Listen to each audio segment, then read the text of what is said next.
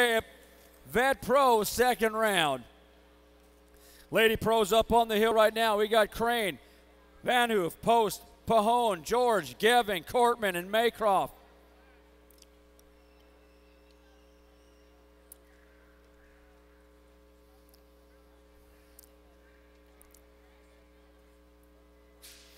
Gate down on the front side. Pajon got some power coming at you. Post on the inside. Into the corner. It's Post on the inside line.